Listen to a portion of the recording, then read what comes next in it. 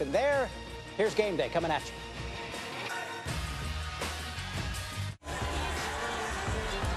Nestled along the banks of the Brazos is the number one team in all of college basketball. That good old Nearly 900 students camped out for the opportunity to get in to see their number one team take on Udoka Azubuike and the Kansas Jayhawks. Now, Rock Chalk, led by Bill Self, they've been the bullies in this league for a long time.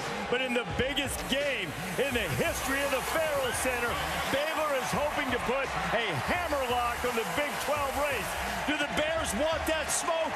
They want smoke as the Jayhawks come in and they try to sweep the regular season series in a noontime showdown between number one and number three. This is the hottest tick in the history of this building. Nearly a thousand bucks a pop to get courtside.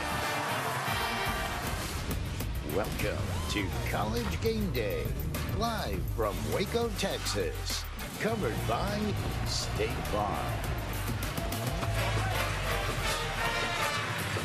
The band is playing College Game Day, plugged in, batteries charged, electricity in the house. As we get ready to watch Baylor and Kansas, Jared Butler, when they won at Allen Fieldhouse earlier this year, scored 10 straight points in the final eight minutes to